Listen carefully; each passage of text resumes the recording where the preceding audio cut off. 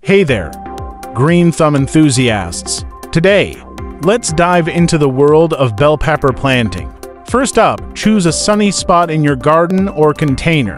Bell peppers are sun lovers, so ensure they get ample sun. Next, prepare the soil. Add some compost and mix it well. This will give your plants a healthy start. Now, to plant. Dig a hole and gently insert the seedling. Gently pat the soil around it to ensure it's stable.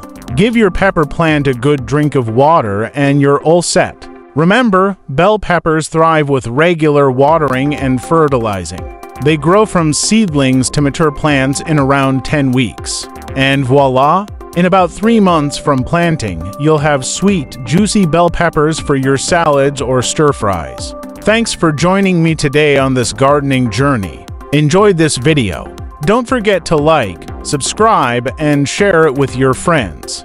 Happy planting!